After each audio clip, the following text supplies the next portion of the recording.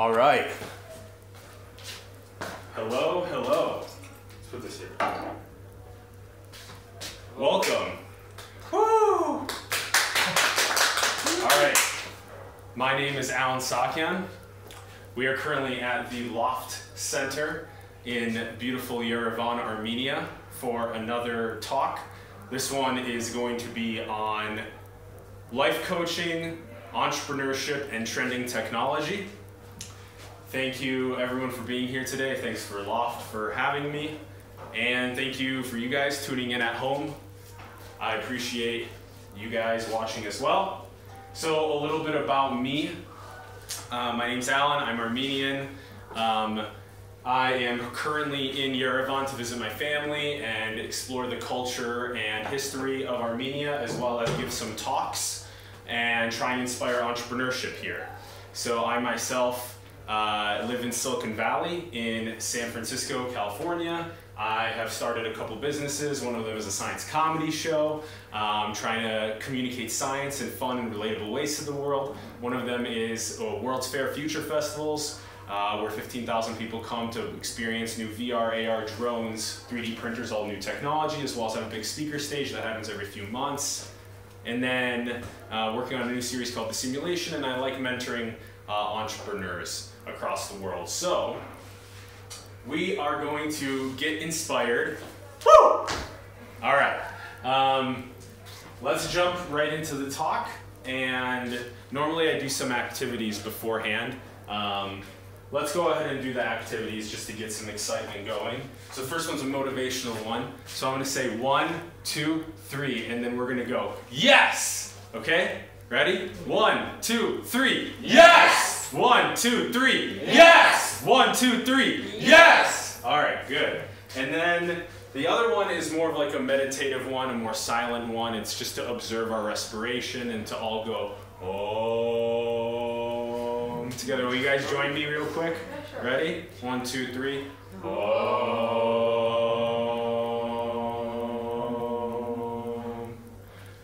It feels very good. It always uh, vib- sends vibrations and good feelings through my body. So I love the extremes of hyper motivation and hyper meditation, and I think that being able to go from super ego to no ego is a really important thing.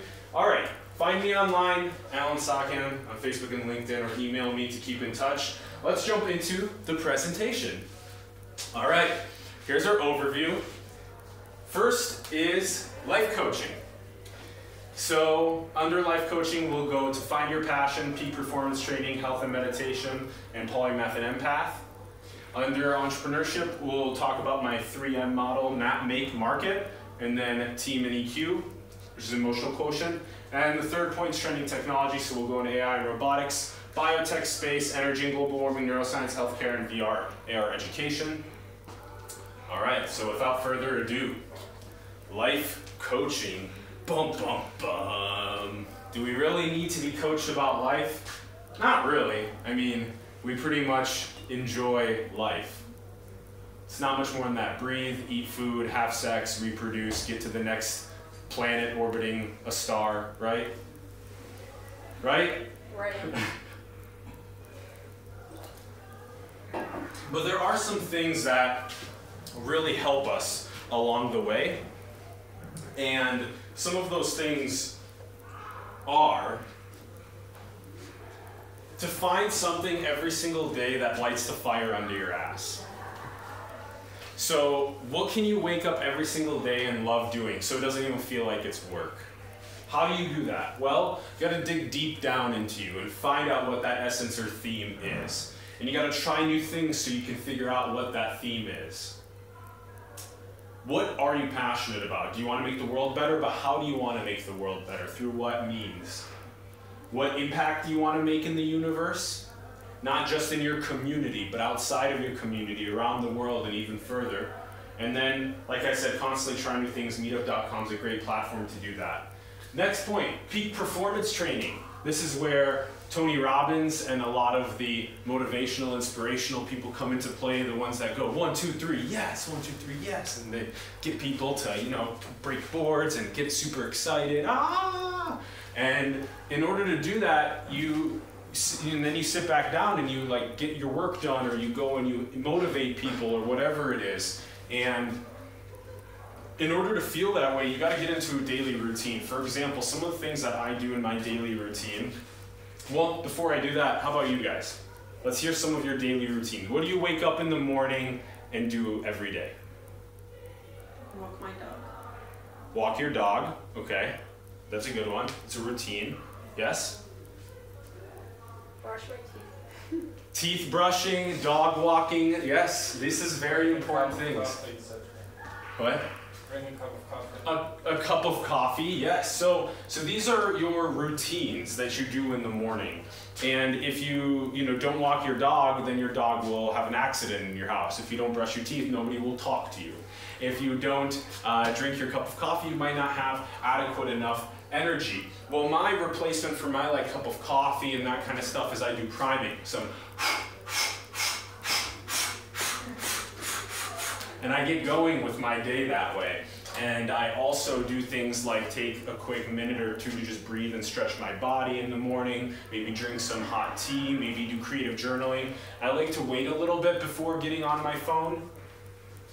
Having laser like focus is extremely important. So, being able to focus in on what you want to get done and deprioritize everything else. How to get there?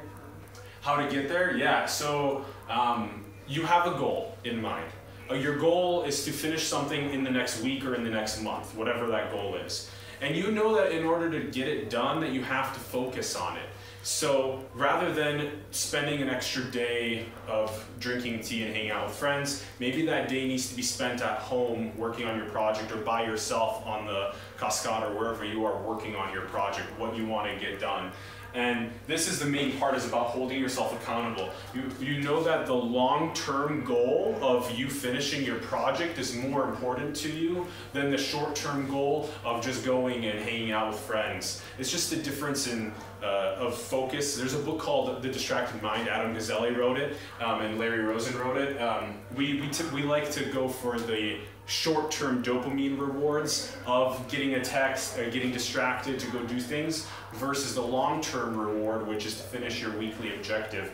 It's just the difference between bottom-up processing and top-down processing in the brain. The more primordial reptilian side of things is like, I want more texting and more emailing because it's quick and easy and more information because we're information gatherers, hunters, versus the top-down processing that then says, no, I'm going to go and finish these goals. Attend epic conferences, learn and network. This is really important. Um, there are so many cool things happening in Armenia with really smart people, um, and even further abroad and out of here. Um, go and travel to those places, stay in the city, and go to those conferences um, because you will learn and network. And you, what you will find is you might find your co-founders here. You might find people that help make your idea better here. And then this last part, you might actually find coaches and mentors that can help you with your goals as well in a more mentorship role and not a partnership role. Um, and this is really important on both the business side and the spiritual side. So not just people that can help you with the business, but also that can help you with your health and your meditation and your connection to nature and your connection to yourself. Um, and that in turn helps your business. All right, health and meditation. Getting into a body and mind routine in the morning as well. So, like I said, drinking some hot tea or doing some jumping jacks or some stretching in the morning, some breathing prioritizing your health. If you're sitting down at your computer and working and you're like this all day long, you're gonna feel pain in your back, you're gonna feel pain in your hips. We have to take time to go and start getting our blood flowing in some sort of ways. Every 30 minutes, every 60 minutes, get yourself into a habit of standing up and stretching. Practicing meditation, and equanimity. I like to do this uh, this analogy for equanimity. Um, equanimity is when you're stay mentally even. So rather than going to extremes of negativity or extremes of positivity, we stay pretty mentally even. So when you're driving, someone cuts you off in traffic, you don't get very upset at them uh, because you never know they could be going to the hospital. Um, when uh, when your server brings you your food that's cold, you want to gently and politely ask them, "Hey, my food was cold or it was wrong order," um, and not get super duper angry at them.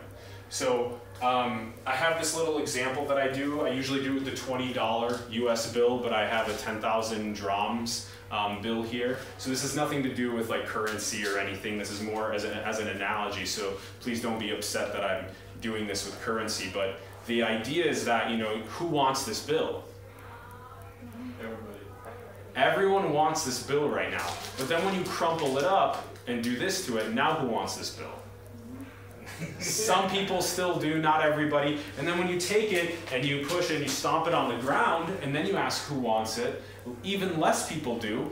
And the idea is that this is us. This is who we are we are an analogy for this bill is that we're going to fail we're going to stumble and we're going to fall but it's up to us to stand back up and to say that no i'm just as good as when it was like this not when it was crumpled up so it's, it's this is a completely up to us to not get super duper upset but rather to uh, stay equanimous along the journey and this last point is about digital detox and nature therapy so this means when you go um, to places like Sevan or when you go to museums or when you go somewhere, just really try to immerse yourself in the nature in the museum of the thousands of hundreds of people that have went and built civilization into what it is today instead of being on your phone the entire time.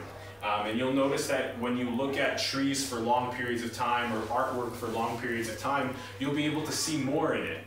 You'll maybe see the birds flying or the chipmunks uh, climbing the branches, or you'll see another detail in the art because you spent an extra minute or two exploring it rather than just moving on right away. All right, next point, polymath and empath. So these are two of my favorite words. Polymath means wide-ranging learning. Empath means emotional intelligence expert. And why do I use these two words and why are they so important? Well, when you know a lot about a lot of different things,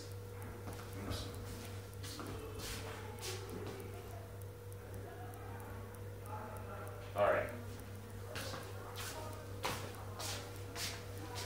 All right, back to the presentation. Sorry about that. I thought there was a, a button on here for something else. All right. So when you know a lot about a lot of different things, what that helps with is it helps you make interdisciplinary connections in your mind between different between different fields in science or in people studies, and that's what empath is, is the study of people. Um, for somebody, yeah, come on in. Um, for someone to be uh, an emotional intelligence expert, then you have a growth mindset, you build the perspective take to have empathy. Um, they need to um, they need to be able to feel the emotions of another person. When you're able to do that, it takes a long time for AI to automate your skills, and I think that's one of the most important takeaways from smashing these two skill sets together. You know a lot about a lot of different things and you're good with people, it will take you AI a long time to automate your skills. All right, moving on to entrepreneurship. I have this 3M thing that I came up with, map, make, make, market. First one's mapping. What does mapping mean? It means when you have your idea, you need to do market research because we have an idea and we go look it up and someone's already done it. it happens all the time. So we have to go and make sure we've done adequate amounts of market research before we embark on our journey. Then there's got to be some sort of high level vision for your idea. You have to be able to excite people about what you care about. And high level vision is also going to give you a roadmap. So to be resourceful and think outside the box, things like if you want to make an idea in just the Yerevan or do you want to make it in Europe in the US and Asia as well? So think about what three technology is going to be like three years or five years down the line and try and make ideas that other people have never heard of or thought of. And being a powerful executor, networker, and impactor is tremendously important. Um, obviously, to stay focused, to know how to interact with people, and to make impact in the world. The next M is make. I see you're taking notes. Taking notes is very good what you're doing is you're firing and wiring neurons in your mind and you're able to then go and teach those to other people and remember it better and actually implement it into your life. Really recommend taking notes. On the make side of things, this is mostly about your team and about your product. So this is about finding superstars. So you're the top five people that you surround yourself with. So if you're gonna surround yourself with people that that aren't starting businesses or that have not started businesses, you're probably not gonna start a business either. you want to surround yourself with people that have done those things, that have had successful exits, that kind of stuff, which will help you so much with achieving your goals. You are the average of five people you spend. Exactly. The average of the five people you spend your most time with. The next one is to find business and technical co-founders. So if you're a business person, you want to find somebody in, that's good in technical. If you want to find, if you're technical, you want to find someone that's good in business. And then you want to give equity over several years of vested cliffs. This the same thing applies to your engineers and designers, operations people, salespeople. Things like a two-year schedule. Come on in. Bart says. Come on and take a seat. Um, so the same thing applies to anyone on your team is you want to um, give equity over a period of two years, three years, four years, maybe with monthly cliffs or yearly cliffs. Um, co-founders typically recommend somewhere between one to 10% equity. Um, uh, other engineers, designers, salespeople, ops people, somewhere between a quarter percent equity to 2% equity. So in the making process, you also really need to have your product or service roadmap and milestones. So with that higher level vision, you're able to think of what are we going to get done at the one month mark, at the three month mark, at the six month mark, and how are we actually going to get those things done. And then this is really important too. People, uh, when you when you start a business, you got to know what programming languages or what design tools or what operations tools, communications tools you're going to be using to build that business. You don't want to code in languages that are 20 years old.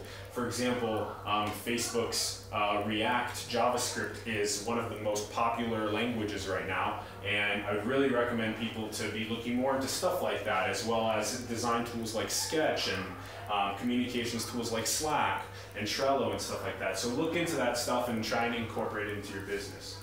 And as you know, if you're the smartest person in the room, Change the room. change the room. You're in the wrong room. Exactly. Um, you want to be surrounding yourself with smarter people than you all the time. And if you are the smartest person in the room, then know how to teach people. And the last M is market.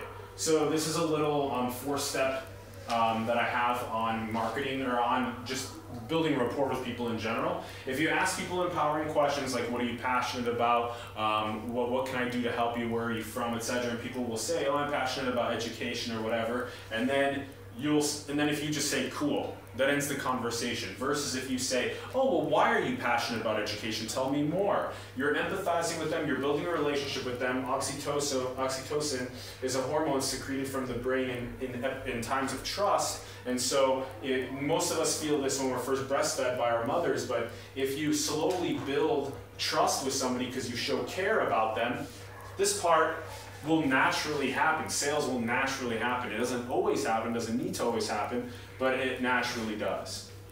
Um, I always tell people to analyze people's budgets and always ask for the high end of things. Uh, don't try and sell yourself short if, if, your if the company is saying, oh, we usually pay around um, 10,000 for something like this. Ask for 20 because they're typically a company that can that can pay you way more than what you can actually um, uh, then you, they can pay you way more. You deserve that because you are a small organization. They're a massive organization. You need it to grow. You need the money to grow, um, and they can afford to pay you. And to have sales goals and uh, celebrate success, give some discounted clients, get, get your business growing. If you have zero logos on your website, that's a problem. If you have three or six logos on your website, at least you've started and gotten somewhere. So that means if those companies might not be able to afford your service, give them to a discounted or free, get feedback from them, etc. on your service. And then make sure to have strong customer satisfaction, follow up with your customers, and get referrals.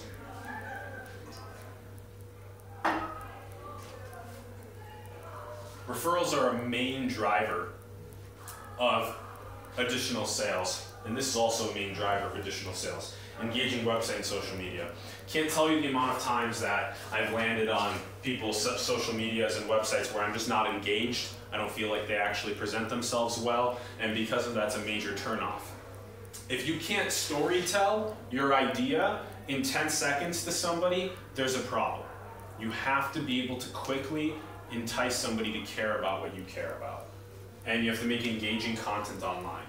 All right, and last point in entrepreneurship is about team and emotional quotient.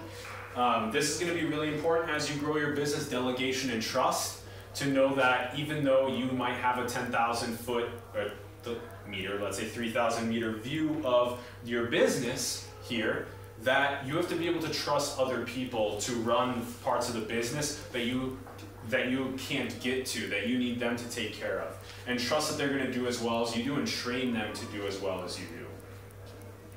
To have a learning culture at work is really important. So if you if you do things like have intercompany talks, that's going to promote people to learn more about engineering and sales because typically those two departments don't meet and don't hang out enough. But if you get them, the engineers, to care more about the salespeople talking to the end clients, as well as the salespeople learning more about what the engineers are building, then you'll have a better and stronger company. So you can have a Friday talk at noon um, and order salad for people to eat and then share learning videos like on Skillshare and YouTube. If you go and find a strong video where you're learning something new, then share that with other people within your company and tell them what you learned about it.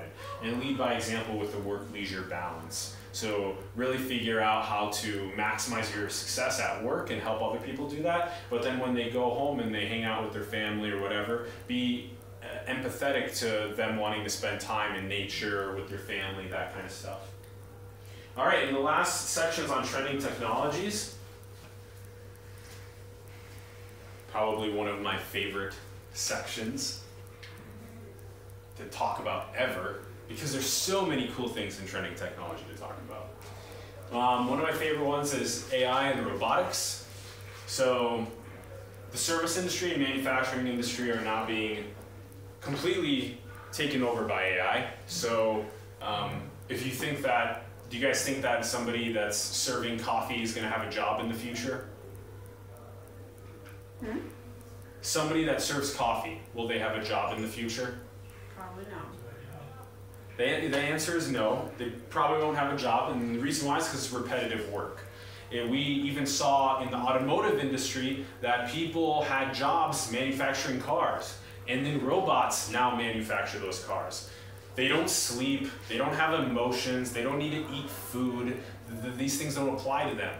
And because of that, they can get things done faster. I mean, employee costs are sometimes as close to a third of a company's overall um, operating budgets so they can cut that with robots and investment over time.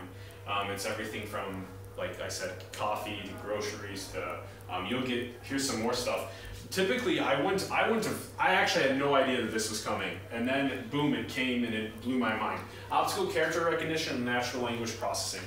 So um, actually those should be in um, well no that, that, this is the right order because what you do is you take in uh, information via let's say a digital document and then it scans the digital document to figure out what each character is and then it makes words and it makes numbers and then it processes those words into trees to make sentences and to see um, what it's actually saying about the subject. So this is a big one in accounting, optical character recognition, because people punching in numbers still need to sleep and sometimes they make mistakes. Computers make way less mistakes doing that, and you can handle your company's profit and loss. You can handle submitting your information to the IRS. With doctors, um, you know, IBM Watson's now going through and scanning medical papers that are being published and sending doctors notifications for them to in, are interacting with their clients. So now instead of them having to spend five hours on clients and five hours on reading papers, they can spend 10 hours on clients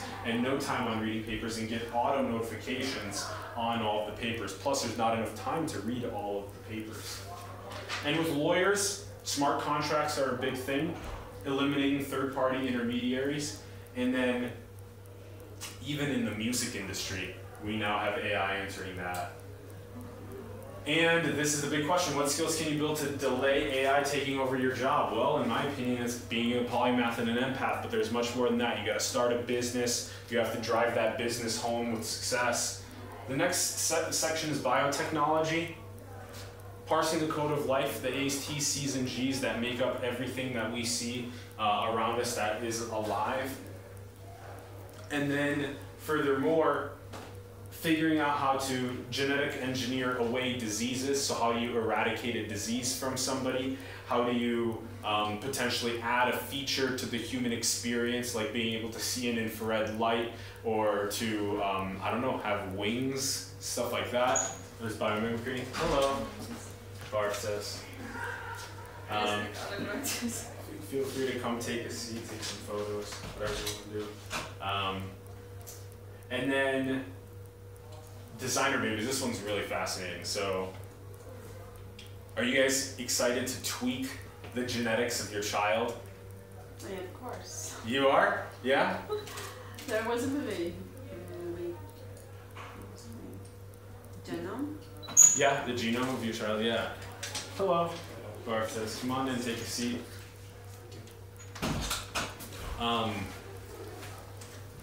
it's it's really important for engineering away diseases, and for um, it gets a little bit more complicated when you try and do things like eh, make somebody's metabolism stronger or make their uh, intelligence better because who's going to be able to afford that down the line um, and what's actually going to happen after 80 years of doing that um, to somebody? It's a really cool point.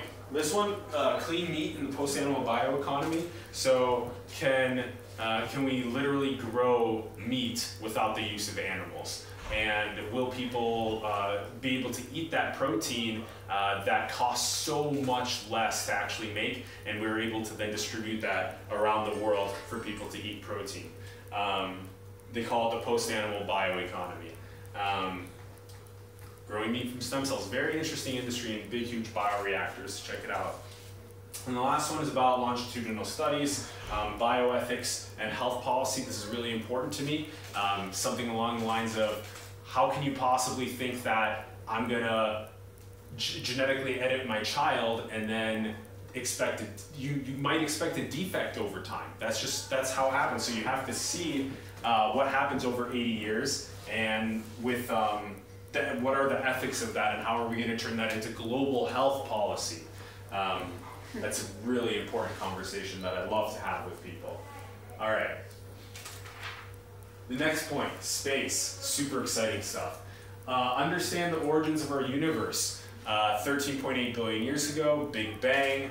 Four and a half billion years ago, Earth forms around the star. And then just six million years ago, humans evolved from primates. And here we are today smart monkeys with smartphones orbiting a big, huge gas plasma star. Um, and that's the little Cliff Notes version. There's so much more to understand about the evolution of our universe. And then the International Space Station, something I find super duper fascinating. Um, orbiting the Earth uh, every 90 minutes. And uh, about um, 250 miles up in kilometers, that's what, like 400 kilometers. And then the Hubble telescope, which is maybe around like 600 kilometers up, um, is taking in light from stars, and then we're mapping it and figuring out our place here in the cosmos. And then things like rovers on Mars that are analyzing the composition of the soil on Mars, trying to see if there's any bacteria there. Did life come from Mars? Was there life there once? Um, and then satellites like Juno and, and around Jupiter and Cassini around Saturn that are finding water on moons in our solar system um, on Europa, uh, and on uh, around Jupiter, and on Enceladus and Titan around Saturn. Um, even though the one on Titan is methane, it's not um, water. Well, so it's exciting. And then this part's cool too. Is like exoplanets dwarf our ego. So every time there's a new discovery made in exoplanets, um, an, uh, which is just a planet orbiting a star outside of our solar system, that it teaches us that we are not alone. We're not alone here. There's so many more potential um, habitable uh, Earths that have, that have grown some sort of life forms. And then the slow process of sending robots to Mars, colonizing Mars, um, and then sending humans to Mars once there's infrastructure there. And then this is such a quirky phrase, sustainable interstellar colonization. I just made that up like a couple months ago, SIC, um, and I've been rolling with it hardcore since then. Colonize the galaxy sustainably. All right, and then the Kardashev scale. Are you guys familiar with the Kardashev scale? So um, uh, Nikolai Kardashev, a Soviet um, um, ast- astronomer or astronaut, one of two, um, he came up with the Kardashev scale, which is basically that a um, the Earth right now is, a, is, is a very low on the scale because to be a level one civilization, you minimally need to be harvesting the power of your star to sustain it. And we're not even harvesting the power of our star to sustain. We're still harvesting fossil fuels on our planet. So we're at about a 0.7 right now. Uh, Kardashev scale number two is when you harvest all of the power of your star. So that means like putting a big Dyson sphere on it, um, which is just a bunch of satellites around your star to harvest the energy. Um, and then uh, it's, uh, type 3 civilization is once you've harvested the power of the stars of all of the stars in the galaxy.